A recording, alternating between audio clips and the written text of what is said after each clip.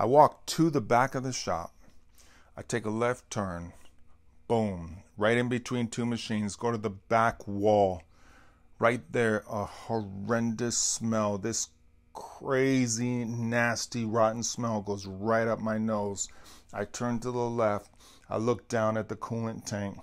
I lift up the panel. I look inside, and you do not even want to know what I saw and what I smelled because it was awful. Usually there's some oil on top. We have a skimmer. The skimmer is pulling the oil. At this time, I didn't have clear coolant. I didn't have the synergy.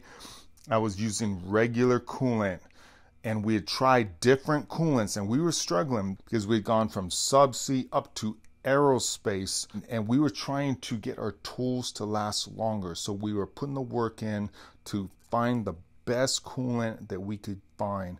And right now, the coolant that we're using, I'm looking at it, I'm smelling it, I'm in absolute disbelief. How could my guys allow this to happen?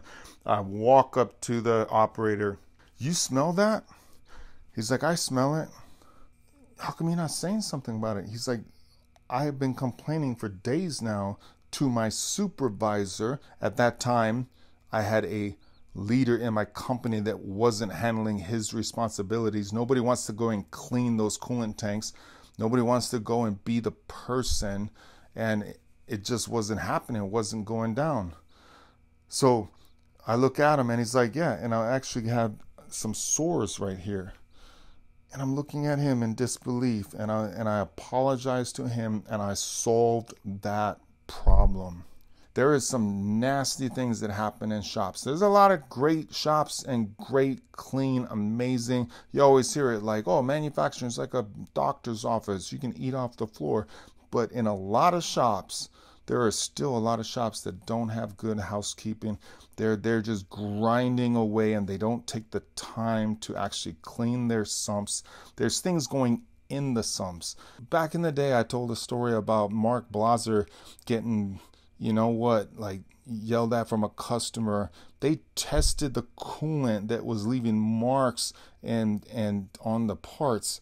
It ended up being urine it ended up being urine, and they scientifically proved it, and they found out that the guy on the machine next to the machine in question was coming over and urinating into the sump because he didn't want to walk down the hallway all the way to this bathroom on the night shift. There are some nasty things that go into these coolant tanks, and we need to like make sure that our housekeeping is dialed. When you look at coolant, a lot of people say it smells like rotten eggs. You know what that is? That's hydrogen sulfide gas, and that's highly toxic. There's a lot of people that die in the workplace from that gas. They'll say, oh, it's like dirty socks. That's fungus growing in your machine. Nasty fungus growing in your machine and growing up the walls.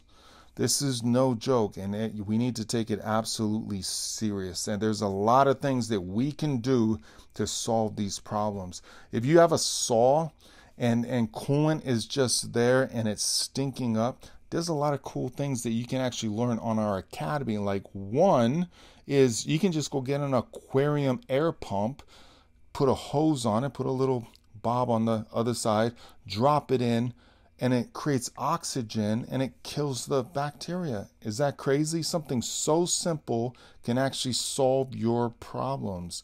So if you go onto our academy, academy.titansofcnc.com, go under fundamentals, look for Coolant 101, you can learn all about coolant. You can learn the good, the bad, the ugly, and you learn how to keep your machine clean and you can learn how to actually run great coolant. So no more sores, nothing on your arms, and all that.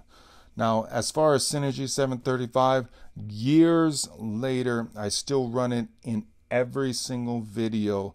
We are running like on the mills and lathes, every single video. I absolutely love that coolant. Another thing I'll say is Synergy is a synthetic, but it is a special synthetic that they actually came in that does not harm your machine and allows you to like run bacteria free.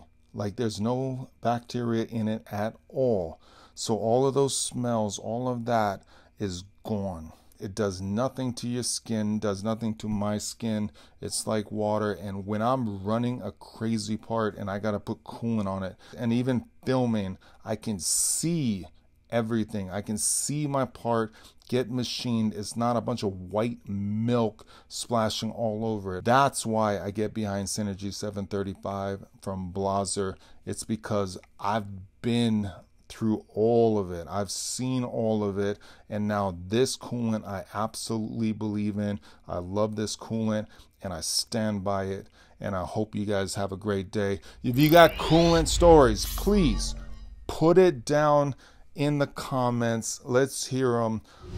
I don't know if you can beat urine in the tanks, but maybe you can. All right, you guys have a great day. Keep those coolant sumps clean. Don't dump in the sump